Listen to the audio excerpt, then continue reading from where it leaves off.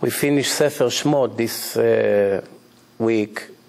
We're starting Baruch Hashem Sefer Vayikra with the inyanim of the Mishkan. Mishkan is a temporary temple that they move with them. I saw a midrash that speaking about Moshe Rabbeinu when they made everything the Mishkan, that there were people who said that one to each other, believe it or not. It's hard to believe, but if a midrash say it, that's what happened. That one said to the other, did you notice that Moshe Rabbeinu put some weight on himself? So the other one said, of course, what do you expect? He received all the money. He has to eat, no? I thought there's only fools in this generation who talks like this. But even in the time of Moshe Rabbeinu, they suspected him to be a thief. Can you believe that? Knowing Hashem spoke to him, knowing Hashem nominated him to be the, the leader, the leader of the most important people in the world, there were still some fools out there that was, were, had the guts to speak Lashon Hara about him. How to believe. Today you find all kinds of uh, foolish people that speak against the biggest rabbis in the world. They have opinions about everything they say. What do you expect? The level of the people is very low today. No, so they make very stupid mistakes. 3,300 years ago, a generation heard the voice of Hashem. You don't expect to do such things. When did the people realize, those people who started to speak against Moshe Rabbeinu, when did they realize that Moshe is 100% clean? When they saw the Shekhinah, the Shekhinah, the Spirit of Hashem, came into the Mishkan. If it was done by a thief, what Shekhinah comes there?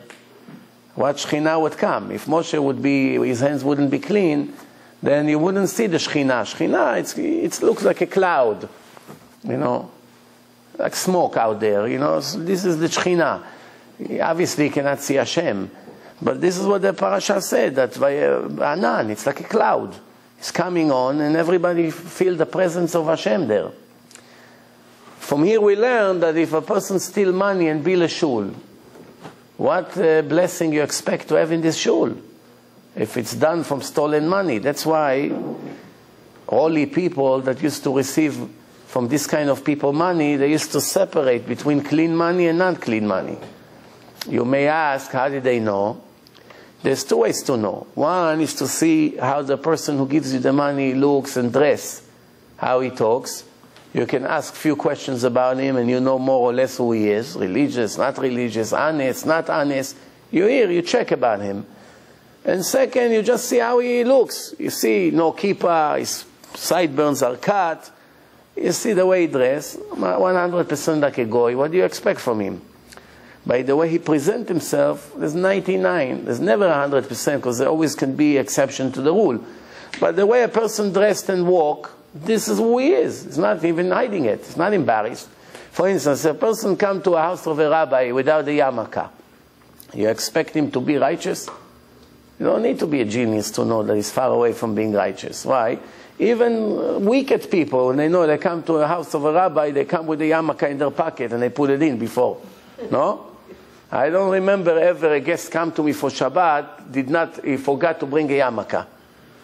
But one of them got caught on the way to the house looking for the yarmulke, and my son already was screaming, Abba, a goy came for Shabbos, a goy. Until today, he reminds me of this. This is like 13 years ago. Remember how your son called me a goy? That's what made him religious, at least. one-year-old kid, two-years-old kid he was, it made him religious. Why? He got so embarrassed a little uh, toddler like this calling, calling me a goy, I, I better wake up. You know? Sometimes people say, I came to Shabbat and I became religious, but it's not only the Shabbat who made me religious. I looked at the kids and I realized the only way one day I'm going to have kids like this if I'm going to be like this. There's no surprises. If I won't be like this kind of lifestyle, what, how, what, what kids I expect to have? What kids? All day they see boxing, wrestling, shooting, cursing. What do you expect from these kids to be? No, no, no, there's certain things we don't show them on television, Rabbi. You have cable? Yeah, yeah, but you know, uh, we have a special code. The kids cannot see it. You know, even cartoon, showing cartoon to the kids. Cartoon. What's cartoon? There's few puppets moving. It's not even real. It can destroy the soul of the kid permanently from what he sees over there. First of all, the language. Second, there's no modesty over there. Male, female, things that kids not supposed to know, they talk about. Third, there's tons of violence. The kids get the impression that if you want to be successful in this life, you have to know how to punch. If you punch good, you're the hero of, this, of the film. That's what they are. They, go to school, and then the teacher calls and says, What happened to your son? Everyone who argue with him right away gets one to his face. Where does it come from? It comes from the cartoon. That's what happens in a cartoon, no? I remember when I was a kid, they had cartoon Popeye, the sailor man. What was it all about? He gives him a smack, make him fly to the wind. You know, and the next thing he comes, he eats his spinach, he gives him a few punches, and that's how the kids grow up. Or they have these karate uh, movies. You know, Bruce Lee, this, ninja, shminja, all this nonsense. All the kids who come out from the theater, for, for one week on the street. Ha, on the street. Everything they see, they kick. Look at the influence that it has on the kids. If, you, if somebody gets into a fight with him, he'll kill him. Why? It happens yesterday in Israel. One kid killed somebody. His father said today it's the influence of that movie. I don't know what the movie. Some movie. He watched the movie an hour before and he killed an hour later. Plus, all these people who makes movies, they're very, very selfish. They don't care about the damage that they make to thousands of people. It's a, it's a horrible thing. First of all, they don't care about modesty in their movies. They know there will be kids who watch it. They don't care about this. As long as they can make their money. You understand?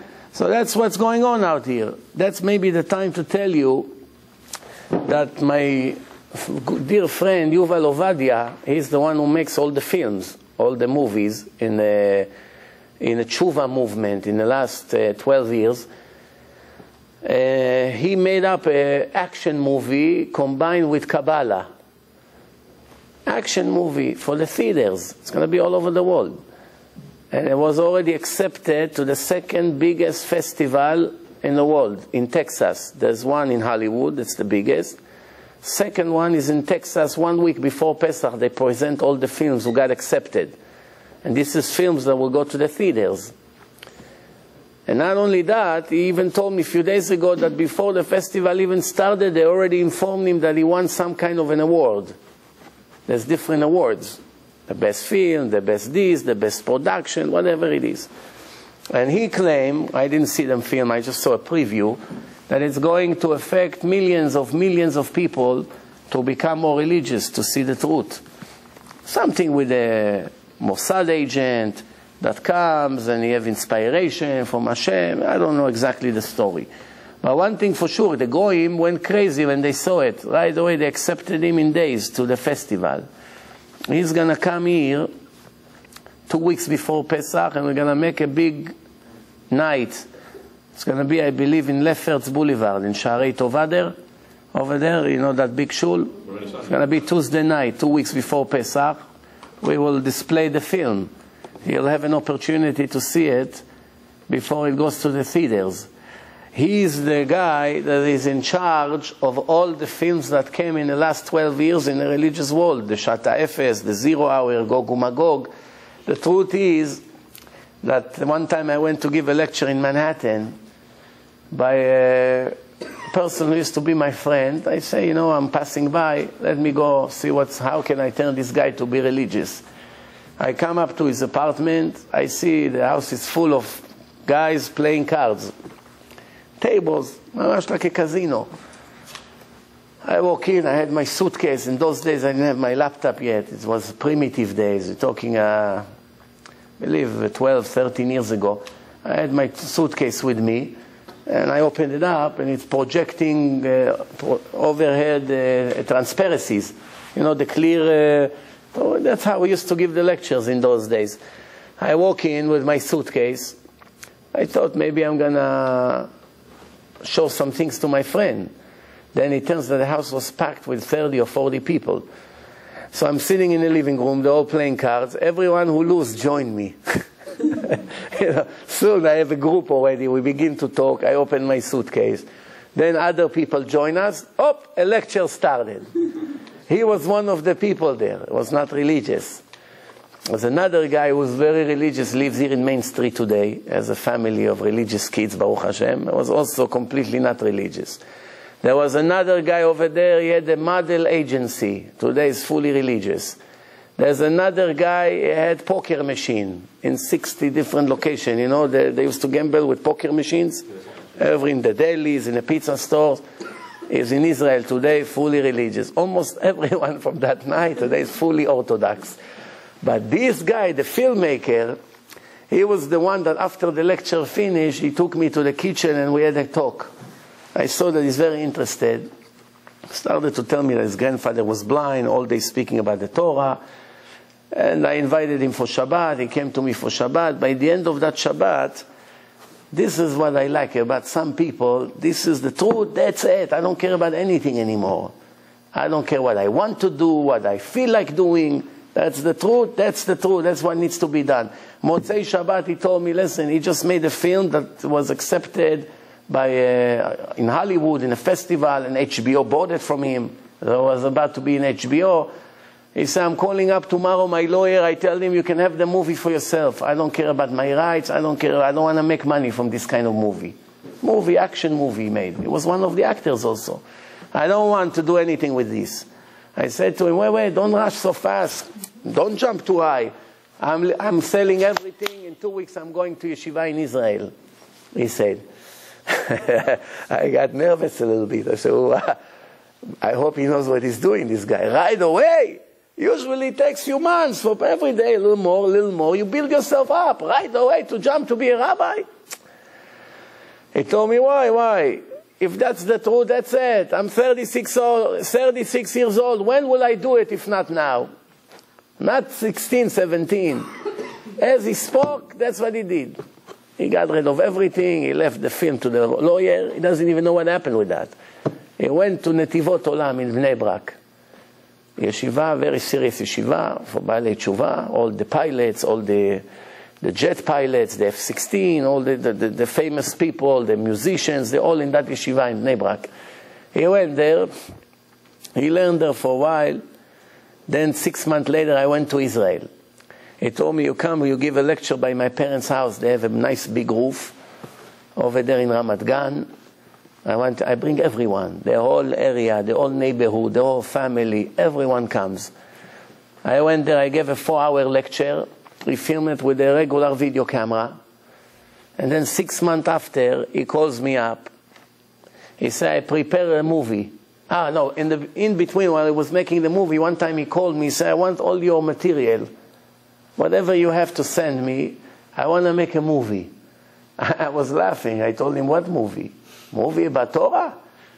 Because there was no movie about tshuva in history. Nobody ever made movie. It was on audio tapes. That's it. There was no even CDs. Nothing. Very primitive. Cassettes. CDs. That's all. That's what you can hear. You want to hear Torah? You put a tape in your car. That's it. So he told me, I want to make a movie. I said, what exactly are you going to make a movie about? The, the proofs from the seminar? He said, leave it to me. Just send me the stuff. I sent him everything. A few months later, he said, I made an unbelievable movie. I'm sending you a copy. Send me a video cassette. I look at that, music, interview people on the street, pictures, everything I spoke about that lecture, he made it into a movie. Then he put another 15 minutes life after life in the end. And that was the first movie who came out in a Jewish history. That was 12 years ago. 12 years ago. Nobody ever thought that movie can make people religious. As soon as we got it out, two weeks later, he said to me, listen, there's a guy here in Bnei Brak. He's the one who distributes all the books, all the audio cassettes. He saw it. He went crazy. He, start, he will start to order 10,000 every month. 10,000 every month. That's how it started to go everywhere. Next thing he calls me up, they decided to put it on prime time in television. Started to get phone calls from my cousin, my friends in Israel. We're watching you on television, 8, 9 o'clock. That's uh, such blessing this movie had, even though it wasn't done in a studio, it wasn't in the highest quality. But since it talked a lot about science, even the Israeli secular television agreed to put it on. They put it on, and from then, from that moment, everybody realized the potential of the films, and they started to make films. They have hundreds of films. He himself made like 20 films in the last 12 years. Many of them you, you saw. Gog Magog was very famous all over, in English, in Hebrew. And now he made an action movie for theater. Why action movie? Not that that's what he wanted to do. This is the only way you can get to some people that will never come to a lecture or will never go to listen to anything on the internet.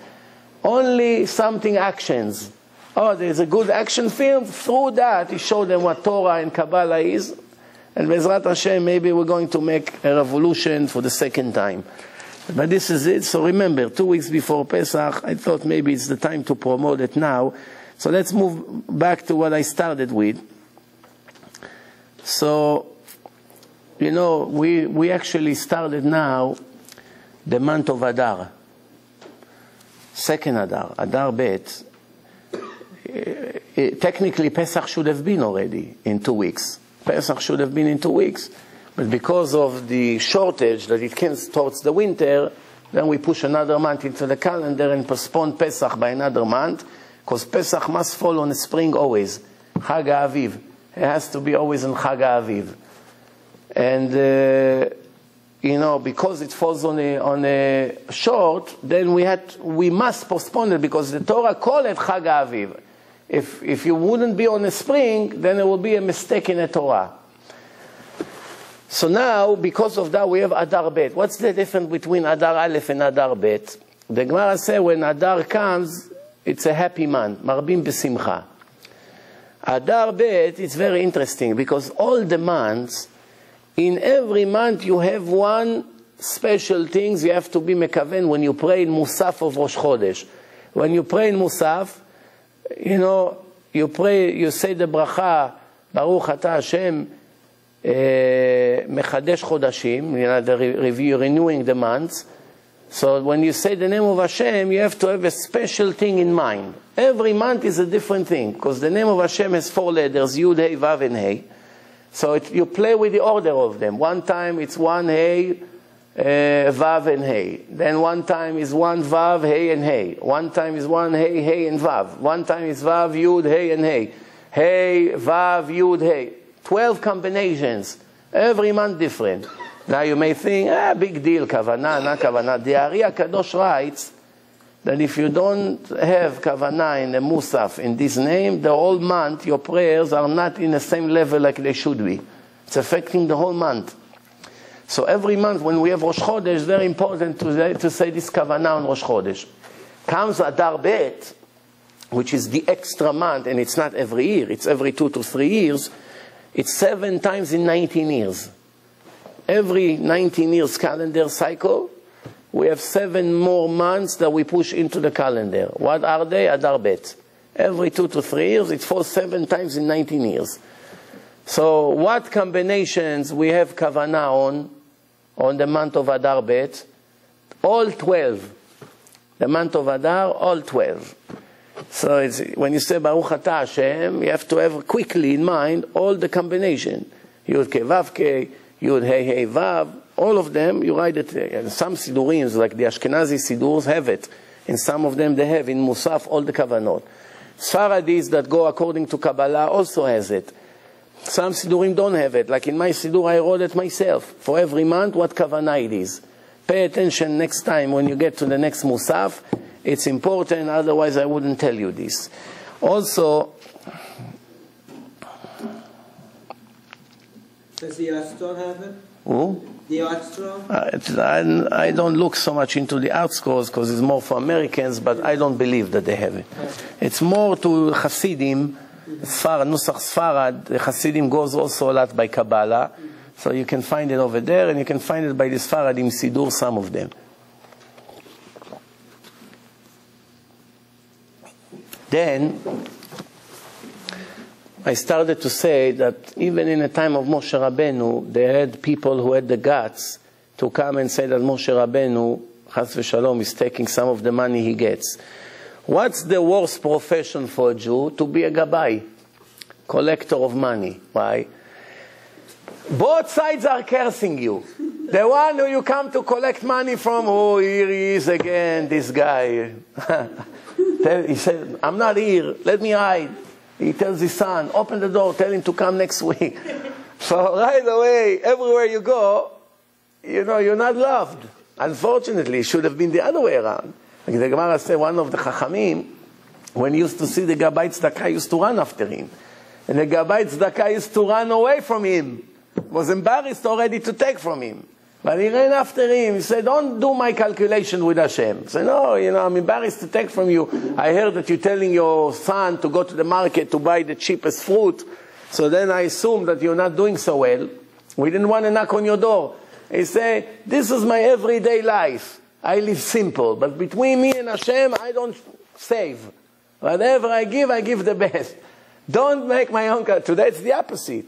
Today, here, take a dollar. You cannot do anything better. It's yeshiva with a dollar. What are we going to do? Hey, don't push your nose into my pocket, okay? so now, so the people who you collect from, they curse you. The people who you give also curse you. Why? They want more. Why only gave me 20 and I he gave the other guy 50? So either way, same thing shidduch. If you make a shidduch, to someone, find him a soulmate. If the shidduch works out, he say thank you. That's the best you get. If the shidduch doesn't work out, he cares you for how long? Depends how long he's married. yeah, it's all his fault. He never told me about this, he never told me about that. This is it. There are five kinds of people in the world. Let's get serious here now. Five kinds of people in the world. One called Bur, one called Amaretz. We'll explain what each one is. One called Golem, one called Tzaddik, and one called Hasid. So you understand that we're going from the bottom to the top, right? Now, in Israel, if you say to an Israeli guy, you're such a golem, that would be the last word you ever spoke to him. Call me a golem, chatzuf. but if you only knew a little bit, a little bit what golem means, it would be a very nice compliment. We wish to be a golem. What's a golem according to the Rambam? A golem is someone that has lots of Torah and lots of midot, but is not perfect on either one of them. It's not perfect. It needs a correction here and here, but it's in a high level. That's golem. Today, what, how many Jews can say uh, my, my level in Torah is very high and my level in Midot is very high, but there's some correction that I have to make. You know? What's Bur? Bur, it's like Arava. You know what Arava in Arbat Aminim? Has no taste and no smell. No Torah and no Irat Shamayim, no Midot. That's Bur. What's Am Haaretz? Am Haaretz is like Hadas. Great smell, but no taste. What is it? Has good Midot, but very bad level in Torah. He doesn't know anything. What? All day he's cutting hair in his barber shop. He has nice personality. He doesn't steal doesn't speak Lashon Hara. He, like, he likes to help everyone he sees, say hello first. He doesn't have ego. He has a lot of great things about him. You ask him what parasha is this week, he doesn't know. What parasha was last week, he doesn't know. What bracha you say on this, he doesn't know. What, uh, what do we do today? It's uh, Rosh Chodesh Adar Bet. Why are you asking me these hard things? He doesn't know anything. That's called Am Haaretz. But personality-wise, he loves Hashem. He's trying to do what he knows. The little that he knows, he try to keep. But the rest he doesn't know. That's called Am Haaretz. The third one, as we explained, is a golem. The fourth one is a tzaddik. Tzaddik. What tzaddik is? Tzaddik is a person that has great Torah, great level in Torah, and also very high level of midot, but still needs a little correction. It's not perfectly in a, not perfect in his midot. And Hasid is someone that is perfect in both, perfect in Torah, very high, and perfect in midot, even more than the required halacha, which means if his worker stole from him and he fires him, right? He still pay him, even though he can take his money. He say, ah, I don't want to be, I don't want uh, any problems with any person. Here, I'll give you an example. Rav Moshe Feinstein, you hear about him? As the biggest Ashkenazi Rav in America, probably in history. I don't think there was ever a bigger Chacham than Rav Moshe Feinstein in the land of America. Maybe I don't know, but to the best of my knowledge, is the big Chacham. Passed away about 15, 17 years ago, something like that. He was in Lower East Side. There's hundreds of stories that were told about him, uh, about his greatness, but this is a story that not that many people know. It was published in recent book that came out from one of his students that published very small books with just mamash, you know, brief notes from the life of Rav Moshe Feinstein. So he said that there was one article, you know, there's American article, Torah article that people write, weekly or monthly articles, monthly. In his case, it was a monthly article that comes out. And they have uh, our rabbis write about certain things, opinion, ashkafa, parsha, like many articles that we have today. So there was an article that all they did is criticizing Rav Moshe Feinstein Piskei Halacha. Everything he said, they have something to say against him. The one who is in charge of this article criticize him left and right. And they used to send him to his home, this article, and one time they call him up, you didn't make payment for the last six months. He never asked this article. All they do is smashing him, criticizing him in this article, and now they have the nerve to call to ask him to pay the membership. So he told them, how much money I owe you? So they told him how much he owes for the six months. He said, okay, I'm going to pay you the money, but please do not send me this article anymore. So his student asked him, Rabbi, you never order this article. You don't have to pay them a penny. You paying them, they are, all they do is criticizing you left and right, and it's not even a Shem Shamayim. It's not for the sake of heaven. It's somebody that has something against you. He used this newspaper to go to write bad things about you. How do you pay them? He said, according to the Torah, for sure I don't have to pay them. What's the question? But I have a rule in my life. I want to leave this world that not one person has any reason to be angry at me. Doesn't matter if he's right or wrong. I want to be able to go up to heaven when I know nobody has anything to say bad against me, nothing. He's angry at me, I did this to him. If I don't pay them, they're going to start getting angry, even though I'm right. Of course, they are wrong. I never order it. You can send anything you want to a person and claim payment. Did I order it? I ask you to bring it? Why are you bringing it to me? You know, it reminds me about the story that one, one guy went with his wife and children on the street and then his friend opened up a restaurant on that street, and he's standing by the door of his restaurant. Ah, Moshe, how are you? How are you? A long time no see. Why don't you come? Come in. Look, I just opened this restaurant. It's one week old. Come in. Come have a great dinner. No. So this Moshe, so inviting us for dinner. Why not? Come in. They eat. The kids eat. Everyone is eating. Say thank you very much. It's so nice of you. Then at the end of the dinner, he hands him a bill. Come, come, be my guest. What be my guest? He sends him a, a bill with no discount.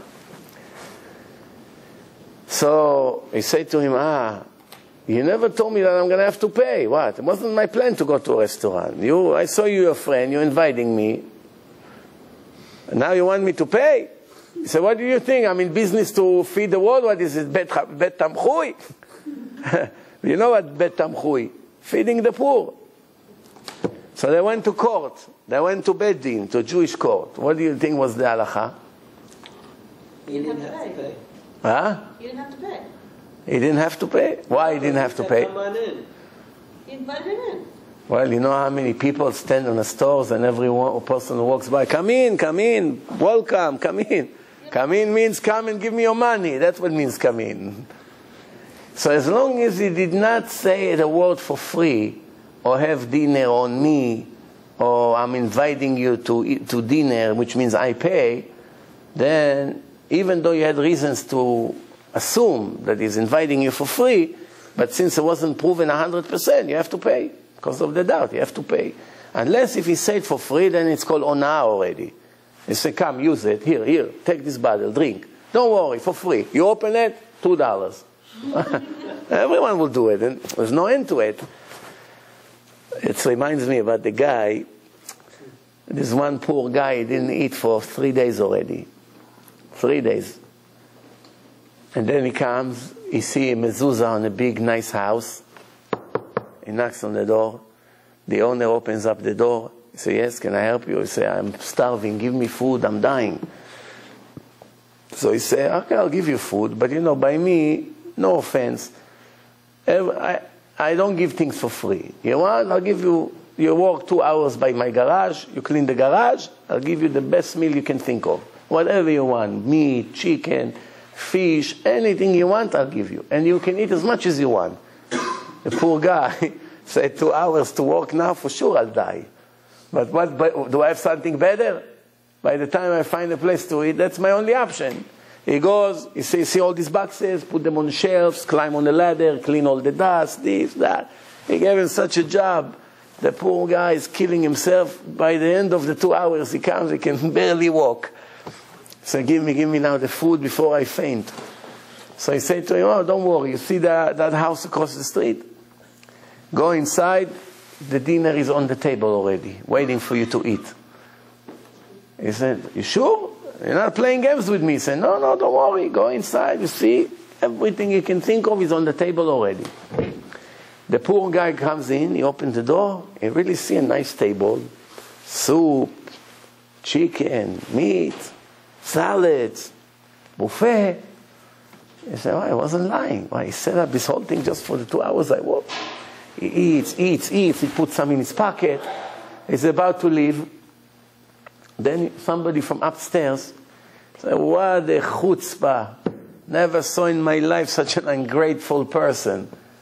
He looks up, he said, what happened? Talking to me? He said, hey, who am I talking to? My grandma? Hmm. You just ate here I don't want to stay like a pig. You ate half of the things that we have here, and not even thank you. You ready to leave? Now the poor guy got angry. So you calling me ungrateful? You have the nerve to talk? I kill myself for this meal. It's not for free. That was the deal, no? So he said, You killed yourself? First time I see your face ever. So what do you mean? I walk two hours, I cleaned your, old garage. So what garage? We don't have a garage here, Bichlal. So across the street. He said, Oh, he fooled you also. this guy is a crook. Everyone who comes for donation, poor person, he makes him do some work for him and then he sends them to us. This is a bet tamchui. We give food for free all day, all year round. This is the mashal. What's the nimshal? This is what HaKadosh Baruch Hu is going to tell each one of us in the day we die, in a trial. The world is bet tamchui. Food is free. I pay it. Now there are two ways to get it. One is to trust me and it comes all the way to your hand, to your door. And one is to go to work to get it. One of the two. If you trust me, don't worry. If the father doesn't want to work, the kids will starve to death? Of course not. Did you ever see a religious person who learns Torah all day, all his life, that ever his kids didn't have what to wear? They're not dressing like the children of Donald Trump or Bill Gates, fine, fine.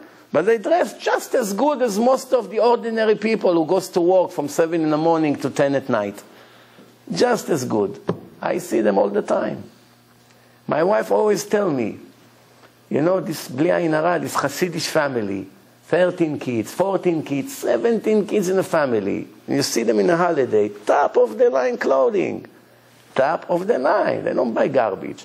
Bli hara, nicest thing. If you add together what the kids wear, it's thousands of dollars. And the father learns in Kollel. The wife maybe has a job, side job, half a day. A little money from here, a little money from nobody even nobody can even sit and explain how they live. Most of these hundred thousand people who sit and learn Torah all day. In reality, they all eat in the end. In reality. I can say that in all these years that we have the yeshiva in Monsey, we have hundreds of hundreds of guys came in without a penny. Without a penny. After learning Torah, they got their soulmate. The time came to get married. One, two, three, everything worked out. Most of them have cars. Most of them pay rent every month. They have everything they need in their home. And they never worked, uh, since the time they became religious and learned Torah, they don't work one day. And I know so many people around here that comes to cry to me or call me every day on the phone that they work and they hardly have what to eat. If a person really thinks that the work brings him parnasah, uh, that's where the mistake begins. Work does not bring parnasah. It brings parnasah to those who think that it comes from work. It's all in the head. If you think parnasah comes from work, it would come from work. If you think it comes from Hashem, it will come from Hashem. Now it's up to you. How do you want to get it? You want to put your hand here? You want to put your hand here? You want to get it while you're learning? Or you want to get it while you're working? And staying an extra job, a third job, a fourth job. Remember, to make money, it's only one side. There's also money lost. There's all, it's a balance. You make and you lose. Yes, at work, the more you work, the more you make. But how much you're going to lose is not in your hand. You can make a million dollars this year, and in the end, you're in negative balance. Why? You had so many tragedies and, and, and accidents and problems and works and this and this and that, which in the end, you lost more than what you made. You have employees, you have cars, you have insurance, you have this, you have floods, you have everything, and in the end, you didn't make money. So remember, Parnasah, it's not only how much you make, it's how much you net, how much you have left. Don't ever forget that. There, are plenty of from, from men who believe in Hashem and that learn and still work, so they're wrong?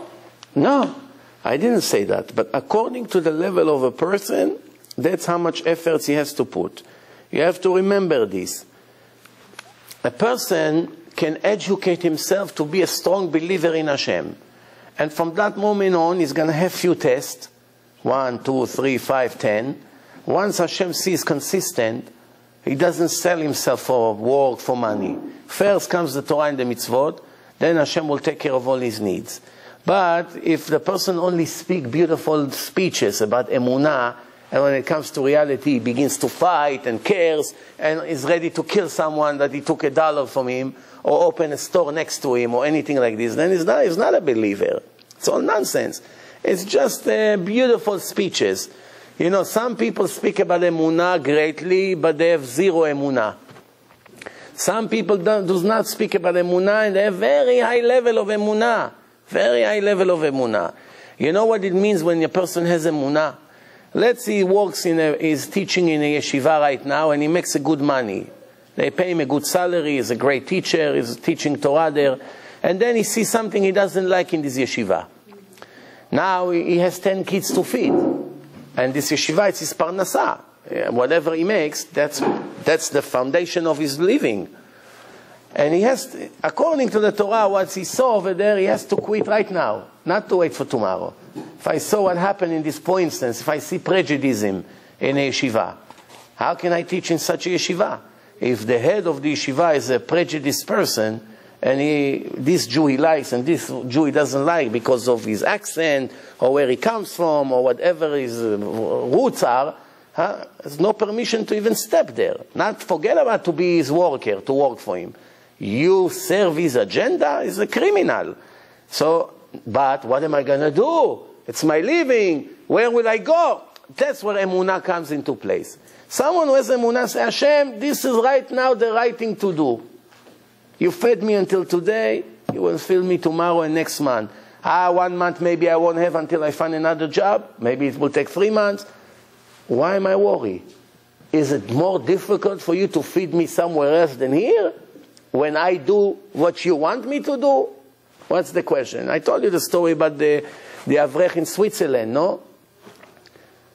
All his years he was learning Torah. And his wife from time to time comes to him and says, what are we going to do? We have to marry the kids. One wedding after the other every year. Where are we going to get all that money? We have 14 kids. Do you have enough money saved that I don't know about for 14 weddings? Because maybe it's about time for you to go to work, to find some kind of a job. So he told her, I don't understand. All these years we raised the children. We brought them to where they are without working. I was only learning Torah. Now, I don't understand. Now you expect me to leave because you think that up to now Hashem could protect us and support us, and from now on he has problem, he won't be able to support us. For Hashem, it's more difficult to get me instead of 10,000 a month, 20,000 a month, or 50, or million. What is it for him? The papers is heavier, it's harder to produce. The United States government produced $10 billion every day printing money. Hashem cannot give me money, what's the problem? You know, so the wife relaxed a little bit. And tomorrow she comes back again with the questions. Then one day they get a letter from the Federal Court of Switzerland. We are invited to be in court 9.30 in that date. No explanation for what. I don't have to tell you, in a country like this, when you get a letter to come to the federal court, you're shaking. His wife, oh, who knows, who knows what happened? Did you do something? No, what, what did I do? All day I go to yeshiva, I learn from morning to night, I come home. What do I have? I didn't do anything. You did? No, it's maybe a mistake. He said, no, it's our names here. We have to come to court. For one month, they were very nervous. He comes to court. He comes inside. He sees judge looking at him. You, Mr. Such and Such? Yeah. The judge is smiling. It's, it's your lucky day today. Your lucky, my lucky day in a court with the goyim. He said, what happened, Your Honor? He said, you are a very rich man as of now. You have to sign the paper and you become the richest man in Switzerland. Uh, what happened? He said, do you know Mr. Such and Such? Some guy. Never heard of him. You do not know who he is? He's the biggest businessman in Switzerland that just died a few weeks ago. Never heard of him, sorry. Psh. He has all the hotels, he has this, he has this. Well, it's all yours. Come sign the papers and you are inheriting all his wealth. He wrote in his will, since he doesn't have children, that when he dies, all his money must be given to the biggest family in Switzerland that has the most kids. Since he couldn't have kids, he wants the family that have the most kids.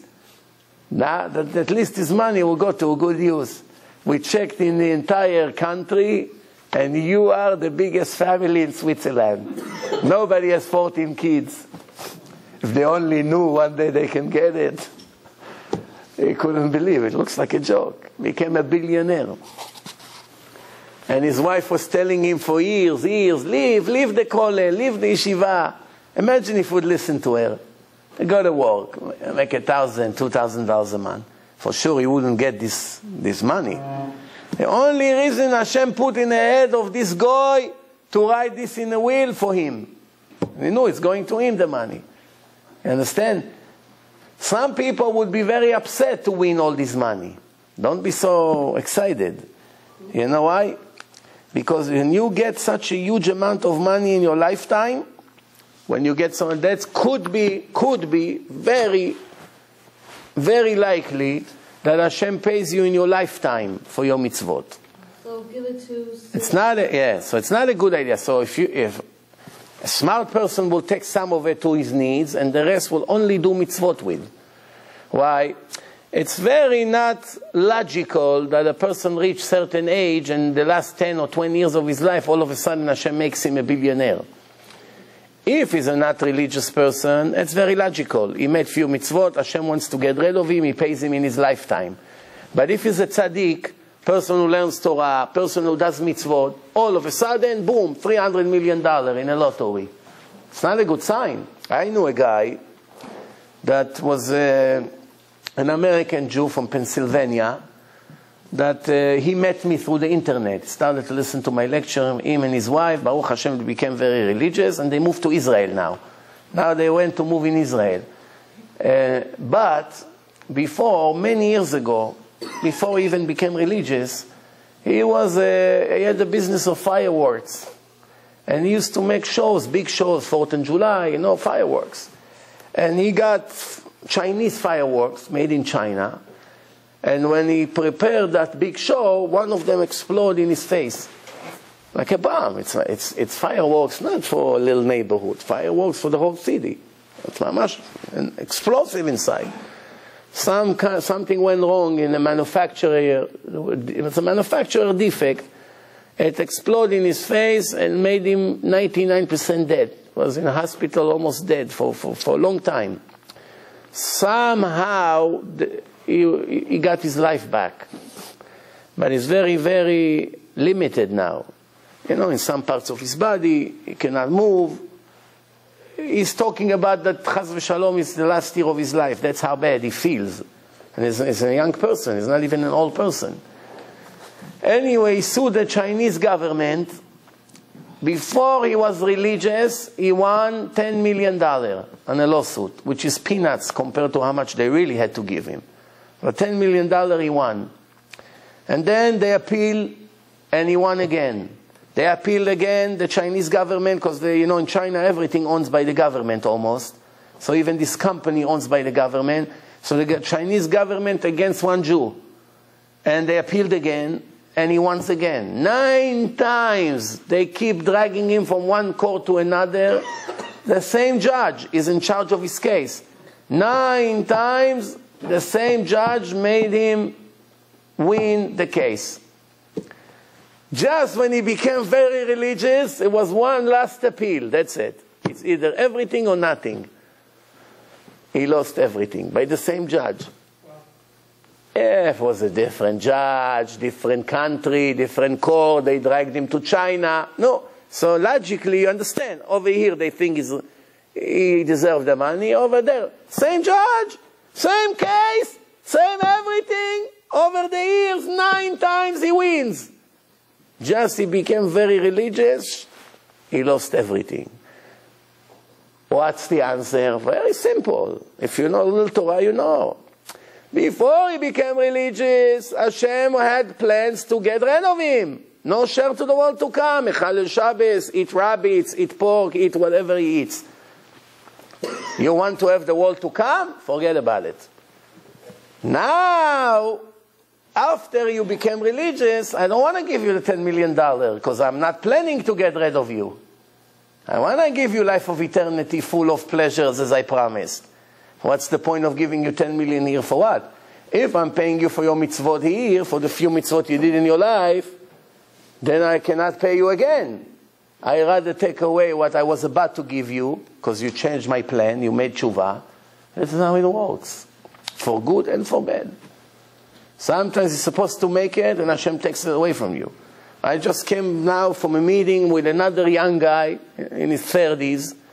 He told me today, when we sat today together, as soon as I saw him, I saw that he's very upset.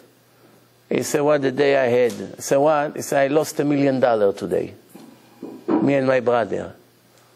I told him, you lost a million dollars? So he said to me, yes, it's a deal that we've been working five months from morning to midnight on it. We were supposed to do the closing today and get the million dollar. And in the last minute, the deal fell apart.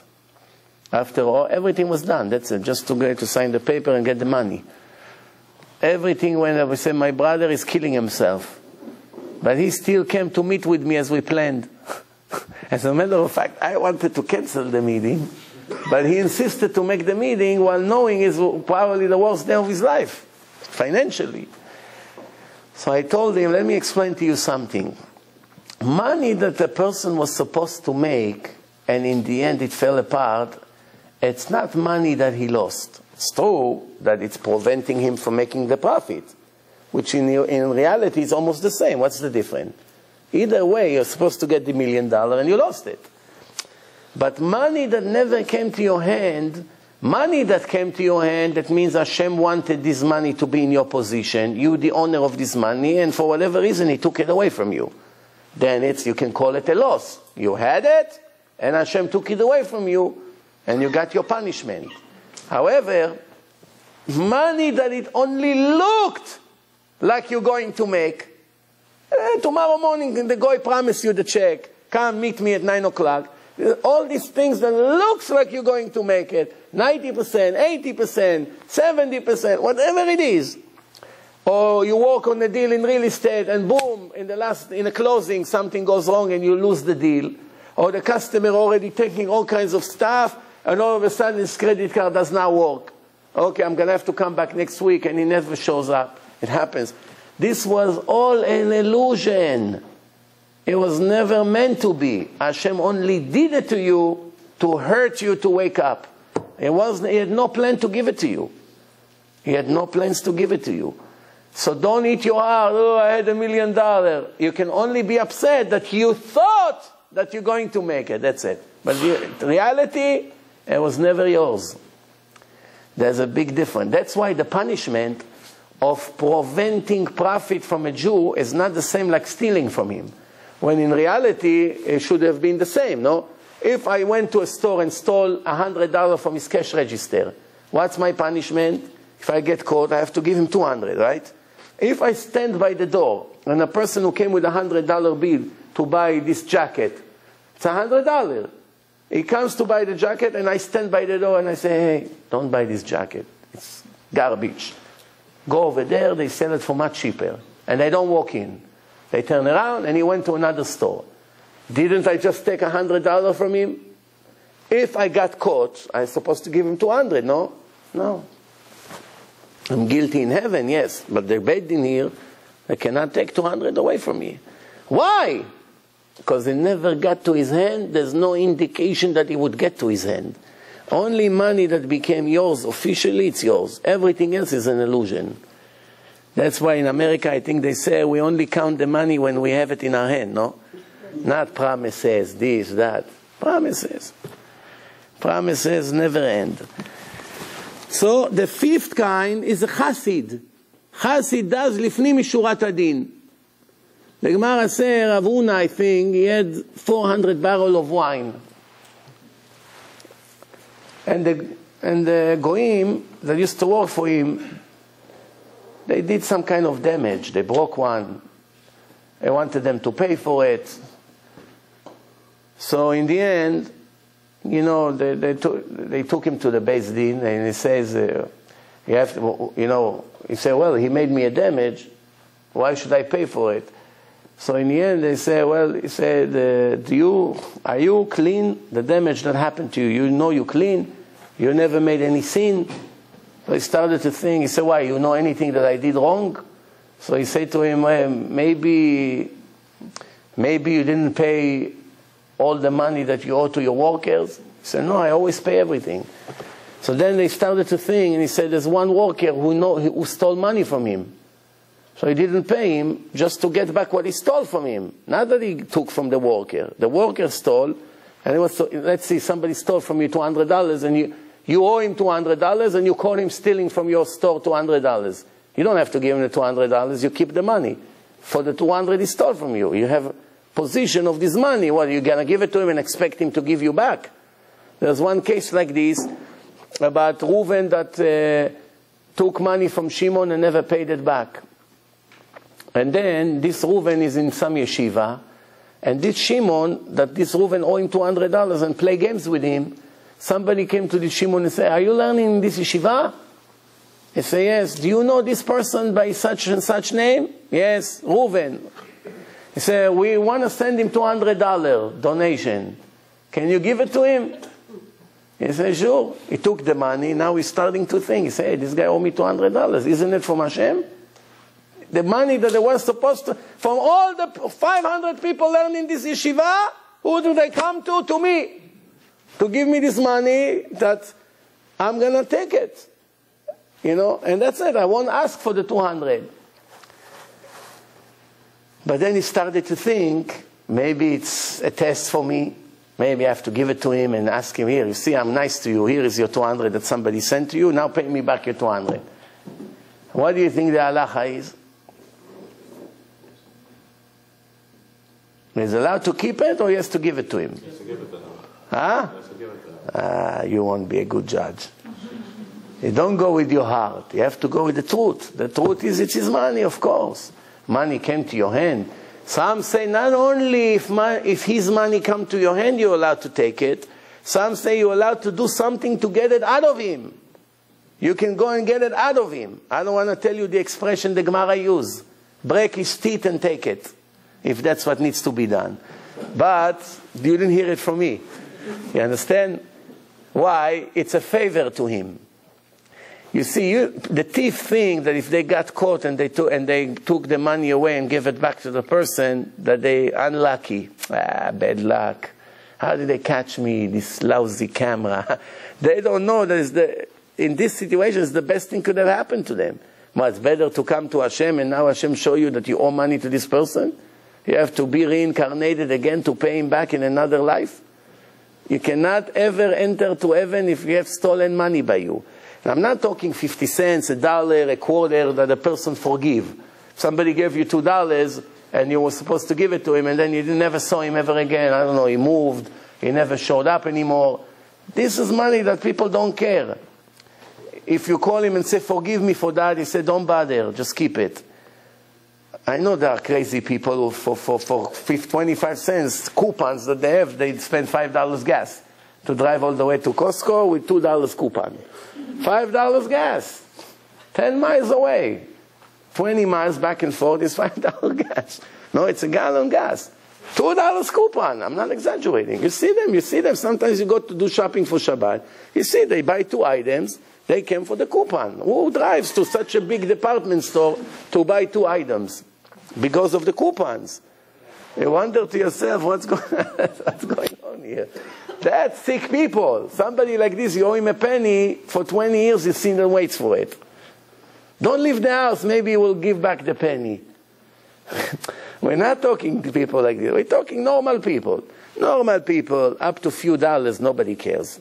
Right? If a person gave you the pen and accidentally you forgot to give it back and you got on a plane, if you call him from Israel, hey, I have your pen, what is he going to tell you? Send it FedEx? Keep the pen, $2, who cares? No? Yes. Huh? That's it. So things like this is nothing to worry so much. Even though in our yeshiva, if you put your pen on a table, nobody will use your pen. Unless if they ask you permission. Why? The ink costs money. How much? A penny. Not touching. Just you, just write the number, no, I'm in a rush. It's not my pen, I don't touch. You got it? But that's called Midat Hasidut already. That's Midat Hasidut. Four different categories of opinionated people we have. People with opinions. Well, I should say not opinions, behaving. נוח לכעוס ונוח לרצות. People who in, in less than a second they go on flame, on fire. One word you made, what? right away, they, they grab the knife. Oh, no, no, I apologize. Okay, okay, forget, forget that it happened. In less than a second, he was ready to kill you. In less than a minute, he forgot, he shook your hand, and it's all over. That's one category. What's the second category? The Gemara said this, יצא שכרו בהפסדו. בינוני. It's not so good, not so bad. Why? Because he's willing to forgive very easily, that's good. But get angry so fast, it's very bad. So, okay. קשה לכעוס וקשה לרצות. Very hard to make him angry. Cold as ice, this person. But if you finally get him angry, ooh, wow, years you have to beg for forgiveness. took him years to be angry, but now it's going to take years to make him forget. יצא sedo בשכרו, also mediocre. Good. The good part is that it's very difficult to get him angry. He's not a fool. Every little thing he gets angry. Really, really something bad you did, he gets angry. I remember one time I gave a ride from Monsey to Queens. Somebody came to the yeshiva and he wanted to go visit his parents. So I told him, I, get, I came to the place where I was supposed to give the lecture. and, I, and he said, and I said to him, wow, I mean, I'm late. I can't find parking. So he was supposed to get off where I'm giving the lecture, and somebody's supposed to come pick him up from where we are. So he told me, do you want me to park the car for you? I say, yeah, that's a good, that's a good idea. It saved me 10 minutes. I go quickly, I start the lecture. I'm talking, talking, an hour, an hour and a half. He doesn't come give me the key. At one point in the lecture, I forgot about it already. I'm in the lecture. Now uh, two hours are gone. I come, I wear my coat. Where is my key? Where is my key? Wait a minute. What happened with this guy? I gave him the key, never showed up. Now I know the guy. I know what happened. Maybe something happened. Police, accident, even around the block. I go down, I look for the car, nothing. One hour, two hours, already midnight. I have to make phone calls. Somebody knows where he is. I call his place. I... Then in the end, what happened? He, he took my car and he drove to where he was supposed to go. Without permission. And in the end, I said to him, okay, you stole the car without permission. Return the car to here. I'm in the street. No, I parked the car. Uh, wait a minute, he doesn't remember where he parked the car. Until 1.30 at night, we had to go look for the car.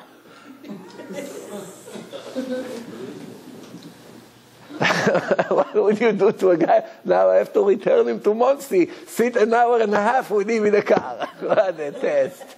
That's harder than the incident. Not only uh, that's רצחת וגם ירשת. I have to deliver him back home. That's a test. Something like this, you got angry. No, at least you have a point. But every little thing today, oof, ah, they, what happened? נו, that's קשה לכעוס וקשה לרצות. קשה לכעוס ונוח לרצות. Someone is very difficult to get him angry.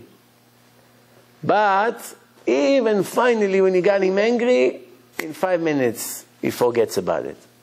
Okay, no, I'm working on myself, I forgive you, mechila, no problem. What's, what do you call somebody like this? Hasid. Remember, Hasid is the fifth level. Someone who gets angry very fast. Like in Israel, you have people, you ask him, How are you, Jojo? In the morning, it's none of your business. Tell him, How are you? Don't ask me again. Don't look at me, you know. נוח לכעוס וקשה לרצות רשע. Not only right away he goes on fire, finally come, you ask him מחילה, it's his fault. he make a whole show, no, not mochel, not forgiving. That's a rasha, wicked. One king that was an angry person, he knew that he has this problem. He knew it, that's his problem, he has to work on it. So he told his servant, take the whip out of my room and hide it very far in the palace, all the way in the other side. Every time I'll get angry and I want to hit, whip one of my servants, I'm going to have to run all the way to the other side of my mansion and get the whip and come all the way back. By the time I run back and forth, it relaxes me. So I don't want to hit him anymore. Why? If the whip will be here, right away it's going to hit him, then by the time he's going to relax, it'll be too late. So by the time he used to run, every time it happened to him, he runs to get the whip, he gets to the whip, he says, ah, what's the point?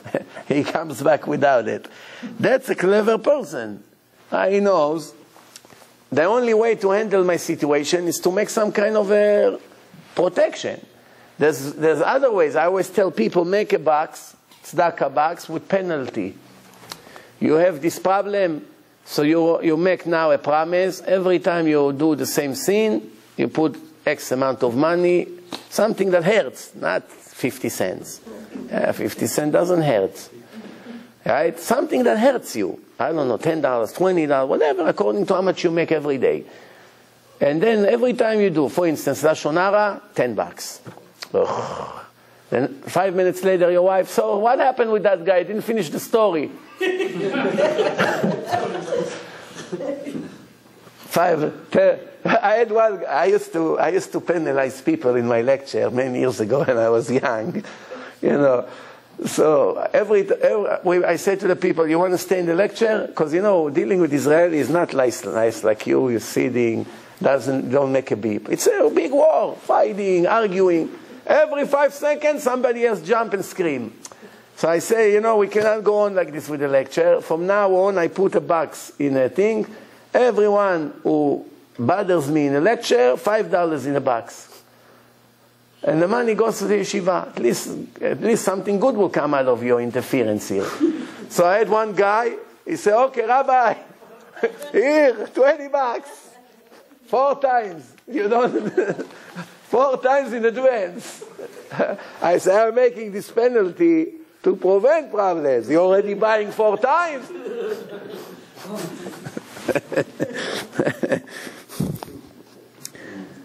then, you know, they say about Socrates. You heard about Socrates?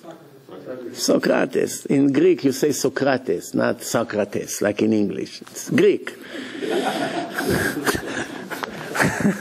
so, he was a Greek scholar, very smart person, and he had a very wicked wife, very wicked that she made his life very bitter. But he was very, very calm.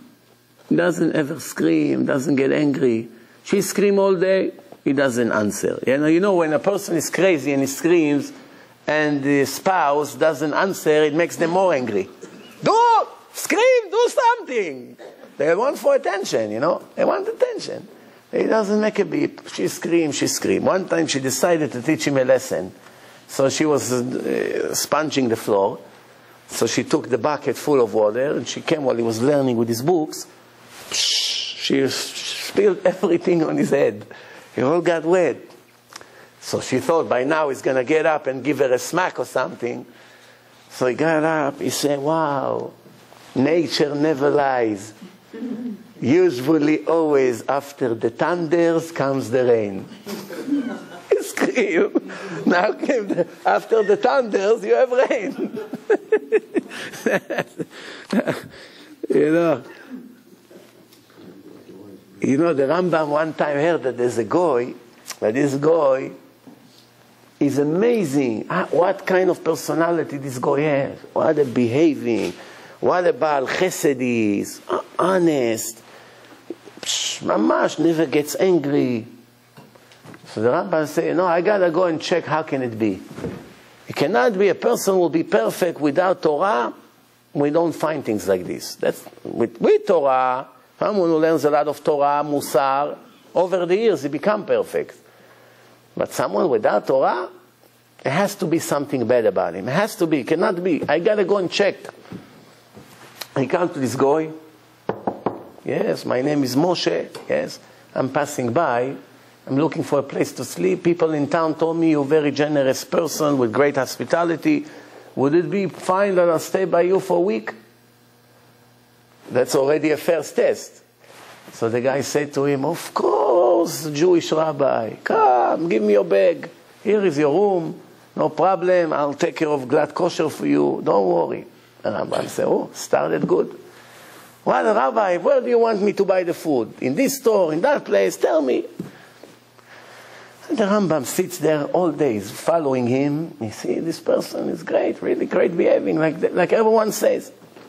After a week, the Rambam came to him and said, You know, I'm very impressed from your hospitality. You're a great human being. In all my life, I didn't believe that without learning Torah, a person can reach such level like you. But I have a very, very big doubt now about the Torah, the Rambam told him. He said, the Torah say that nobody in history was more humbled and will never be more humble than Moshe Rabbeinu, than Moses. In my own eyes, I saw that you are more humble than Moshe. And you didn't even speak to God. So the guy say, Rabbi, can I tell you a secret? This question that you just raised bothers me for the last 20 years. So the Rambam say, ah, thank you, I got my answer. Goodbye. the guy say, Rambam told him, you're more humble than Moshe. So instead of saying, no, God forbid, you're comparing me to Moshe, come on, Rabbi, don't exaggerate. I'm not the dust in his shoe. So he said, yeah, this, this dilemma, this question that you have bothers me for 20 years. 20 years he thinks this is Mr. Big Shot. So the Rambam say, yeah, from the outside it's very nice. The inside, it's what matter. Inside is rotten, ego. Four different categories of students. מהר לשמוע ומהר לאבד, understand everything they hear quickly, five minutes later they don't remember anything. It's like in my lectures. Rabbi, it was a great lecture. Five minutes later, his wife tells him, can you tell me what you heard in the lecture? No, I don't. I, I know it was very strong. he only remembered the joke, if there was a joke. מהר לשמוע, מהר לאבד. יצא שכרו בהפסדו. Not, not any achievement. קשה לשמוע וקשה לאבד. Very difficult for him to understand, but when finally understand, 10 years later he still remember. Uh, why? He went over it 20 times, now he remember. יצא הפסדו בשכרו, it's also mediocre, because until he understand, he wastes a lot of time. מהר לשמוע וקשה לאבד. מהר לשמוע, right away understand, and he doesn't lose it. Very rarely he forgets things. That's a chacham. that's a real chacham. קשה לשמוע ומהר לאבד זה כסיל, a fool. Not only doesn't understand anything, finally we uh, finally understand something, an hour later we come back to him, no, what did I uh, teach you? I tell you the truth, I don't remember. The Gemara said there was Rabbi Preida, he had a student, every day he was teaching him the same page in the Gemara 400 times, from morning to night, 400 times. One time he came, he said, hey, listen, today I have an important business meeting in the afternoon. Maybe you put extra concentration, we'll finish a little bit earlier today. Try to understand, okay? Focus. After 400 times, he hopes that after 300 times the student will say, okay, Rabbi, you can go, I, am okay. 350, 380, 400 times. The rabbi said, okay, well, 400 times like every day, uh, but at least you got it, huh? So, Rabbi, I'll tell you the truth, I'm embarrassed, but I didn't get anything today. He said, just today when I need to go fast, you didn't understand. Every day you understand by 400. He said to him, Rabbi, from the minute you told me that you're in a rush to your business meeting, I couldn't think anymore from the pressure. it happens to people. It happens a lot to people. Once you put them under pressure, that's it, they cannot think. So Rabbi Fred, I had to go to an important business meeting. There's no like today, cell phone, text. I have a moron in my class, I'll come back tomorrow. what are you going to do? You're stuck there, the person is waiting. He said, let's sit from the beginning and learn the whole thing. He told him again 400 times. He didn't go to the meeting. Mamash like the rabbis today. 400 times extra. You know, I heard a, a beautiful say, very sad, but very sharp.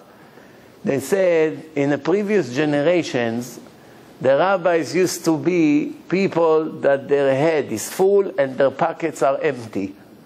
Today, it's people who, who's becoming rabbis? People that their head is empty and their pockets are full. Why? Everyone has money, right away, million dollar, he buy a place, build himself a building, synagogue, fundraising, dinner, up, he has a beautiful fancy building, and he makes himself the rabbi. Two or three years later, collection, up, up, up, he takes his 20 years old son, he makes him a rabbi of another shul. How much Torah they know? Not one gram of Torah, nothing. They don't know anything. Oh, or what the average student in yeshiva, they don't even know. Everything you ask them, they have a great answer. Machloket. Depends. According to one opinion is allowed, according to one opinion is not allowed. Call me back tomorrow, I'll give you an answer. Somehow they, they pull the, the scam 20 years. But in the old days, there's nothing like this to ask a rabbi a question and he doesn't. Right away, they know everything according. That's it. What do you think? It's a different world. Anyway, so the student, מהר לאבד, קשה לשמוע ומהר לאבד, not only doesn't understand quick, finally when he understands, he forgets. that's called ksil. That's what we say in, uh, in Tehillim We say in Tehillim, איש בהר לא ידע. איש בהר, what's בהר? בהר is a foolish person. וכסיל לא יבין את זאת. כסיל, I don't know the right word in, in, in, in if you have fool, what's worse than a fool? A moron is worse than a fool or better than a fool? If you say a person a fool, what's going to be worse word than a fool? No, you Americans, you should help. Moral is stronger. Moron is stronger than a fool, right? It's like pulling a person real down, no? Huh? Yeah. All right, so here, a, a, a fool is uh, someone who does, is not so clever. Uchsil, Chsil is a complete moron, that's nothing he understands. לא יבין את זאת. Will not understand this. The, what? Will not understand what? בפרוח רשעים כמו עשב. When the wicked people are popping everywhere in the world like the weeds. The weeds in the garden, quickly, one or two days, you don't take care of the weeds, everything become weeds. All over you go, the whole grass became weed. It's a cancer. There's no way to stop it after a while. בפרוח רשעים כמו עשב, the wicked people are popping everywhere, in the media, everywhere you go, in the newspaper, on the streets, eh, millions. ויציצו כל פועלי אבן, those who are the worst, are on the top of the pyramid, everywhere you go, in the media, in the politics, in politics, in the government, here, everywhere you go. What's this all for? What's the end of this verse? להישמדם עדי עד, ויציצו כל פועלי אבן, Leishamdam adead, to destroy them for eternity. That's the end of the verse. Which means, why do I let them succeed here and control the media, this, that, on the streets and jobs, everywhere you go, why? Leishamdam adead, because anyway they have no share to the world to come. So let them at least enjoy 20, 30 years here, the nice car, coming to their garage, it's all opened up, water fountain, the, sir, can I take your jacket? What's for dinner? Bow tie, the way they're cut for him, beautiful. He, he thinks, ah, I'm an American dream, American success. If a person knew where he's heading to, he wouldn't be able to enjoy this steak. Unless if he's Adolf Eichmann, Imach Shimo. One hour before they hung him, he asked for a steak and a red wine. And was reading a German newspaper in Germany how they describe his hanging. So the Rav Shach will finish with this. Rav Shach said one time in his lecture in Ponovitch Yeshiva, he said, what's the difference between a Jew to a Nazi, to a, to a dirty Nazi? What's the difference? A Jew comes the month of Elul, one month before Rosh Hashanah. It's plenty of time to correct. This whole month of Elul, we can correct a lot, no? We make tshuva, tshuva, tshuva. We can erase all the sins from the previous year. And we come clean to the trial. So we have a lot of time, and we know Hashem for sure will forgive us if we make tshuva and correct our bad ways. For sure. It's not like the judge here, they'll give you a little discount maybe. But you must pay for your sin. You killed, you say to the judge, I made tshuva. I regret. I will never do it again. The judge says, okay, 20 years instead of 25. He has to send you to prison. That's the law here. I didn't pay electric for 20 years. Okay, Your Honor, from now on I'll pay my electric bills. Waive everything until now, let's start fresh. Tshuva, no? Over here it doesn't work. So Rav Shach says, a Jew just hear Elul, he faints. That's how it was in his time. Today nobody faints. But in his time, when they say, Elul, half of the people in the shul, boom, their head bang on the floor. No, not exaggeration. 20, 30 years ago, that's how it was. Just they say Elul, the month of preparation for the judgment day start, people will faint. They get panicked. Attacks. So he says, this monster, an hour before they kill him, instead of say, I apologize, forgive me for what I did, I wish I could not do it, I wish I would not have done it, something, even a fake. Sits with a newspaper in his room, ask for a steak and a glass of wine. We're going to make a shish kebab from you in 20 minutes. You're eating steak, that's what you care about, the three minutes that you're going to bite from this lousy steak? One good thing came out of it, that the person who hung him was a Yemenite Jew, not religious. Nagar, his name was. After he hung him, he became religious. So even this monster made one Jew religious. It obligates us to make much more, no? If he made one Jew religious, how did he make him religious? Do you know? I told that once in the lecture. When he hung him, he didn't know that he's going to have to take him down and burn his body. They only told him after he hung him. Nagar, תוריד אותו עכשיו. Take him off. He said, he didn't tell me I have to take him off. There's one thing to pull the rope around him and push the chair down, that's one thing. To pick him up, the dead body, it's much more scary. They told me, המתחיל במצווה אומרים לו גמור. You start the mitzvah, you must finish it. So he said, okay, I'll take him. Now he was standing on a chair. What does he have to do? He has to hold him from the stomach and pick him up about, you know, I don't know, 10, 10 inches up, and then pull him from the rope, because he's hanging on the rope. He has to open the nut, he has to pick him up and take him down. But he didn't know, Nagar, he didn't know that when a person dies, the last breath that he took never comes out of the body, it stays in the body. We breathe and we release the air, and then we breathe again and we release the air. So when a person dies after he, he was just breathing deeply, up and he died. All the air stay in the lung. It doesn't, doesn't come out. So what happened is when he pressed, all the air came out of his mouth. And he was looking in his horrible eyes, if you remember his face, this monster killer, mamash from five inches away. Was picking him up. and he went like this. Oh! He screamed. The air came out of his mouth. And he thought he came back to life. And he fell on the floor with him. They both fell. And one month, one year, I'm sorry, he was in a hospital, mental hospital. He couldn't get out of this situation. Slowly, slowly he recovered, and then he made tshuva. יימח שמו made one Jew על תשובה. The Gemara says Haman, his grandchildren learning Torah in Bnei Brak. The Gemara says. So everybody asks, Haman? It's like saying the grandchildren of Ahmadinejad became Jews sitting in Yerushalayim and learning Torah. What merit this monster has that his grandchildren learn Torah? The answer is, the Jews, so many of them became religious from the fear from that monster, that even though he's wicked and Hashem doesn't want to give him any reward, his grand grandchildren will benefit from it. Why? My children became religious from this monster, it was also good. Needless to say, if a righteous person became religious, is much, much better.